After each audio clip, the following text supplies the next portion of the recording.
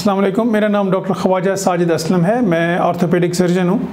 नए कूल्हे के जोड़ और नए घुटने और हड्डियों का इलाज करता हूँ।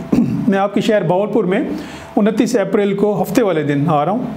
जो लोग बावलपुर और उसके गिरद नवा में रहते हैं, जिनको घुटने का प्रॉब्लम है कूल्हे के जोड़ का प्रॉब्लम है या हड्डियों का ऐसा ऑपरेशन कोई हुआ है जिस जो कि कामयाब नहीं हुआ और कॉम्प्लिकेट हुआ हुआ है।